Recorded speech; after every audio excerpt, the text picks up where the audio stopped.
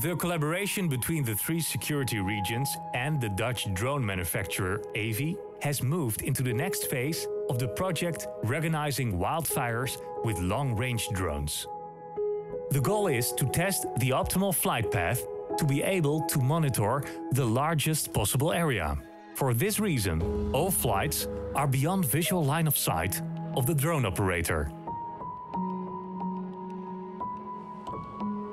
The Avy Aera takes off from its docking or drone station and flies its route autonomously.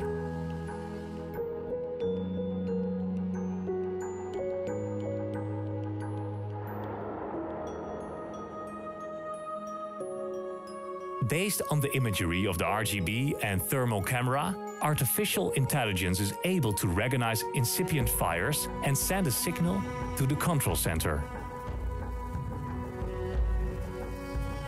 The fire brigade is then dispatched if necessary.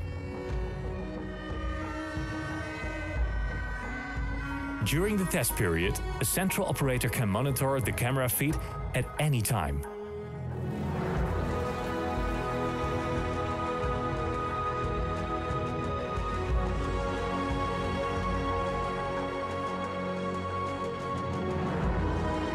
After its surveillance flight, the Aera returns to the docking station to recharge for the next flight.